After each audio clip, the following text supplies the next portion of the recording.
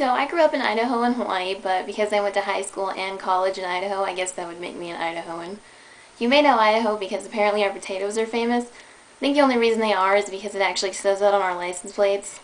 Yeah, we boast about it. Say what you will about Idaho, but no one brags about carbs grown in the ground quite like we do. To be honest, there's not much else it could be known for. The National Cow Tipping Center, we have more chickens than Oregon has people, more drunk people per capita every night than your state. Try fitting those on license plates.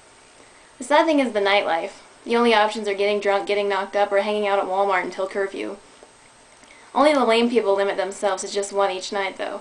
If you want to be cool, it's all three, and there are definitely several pickup trucks involved. I wasn't cool in high school. I was a kid who somehow managed to be in all the clubs, yet no one knew who I was. It was, you know, that girl with the Don King hair, Melissa or something. So I didn't partake in the shenanigans. I mostly stayed home during the evenings and planned my future wedding to Conan O'Brien. One thing my friends and I did manage to do was go to the movie theater. I mean, there wasn't much else if you weren't interested in the alcohol, Walmart, or mini U trifecta. It was either the movie theater, going to bingo with your grandmother, or creating permanent family rifts with Monopoly game nights. We had enough permanent rifts in our family from games of who was playing basketball in the driveway and put a dent in my car. We didn't need any more.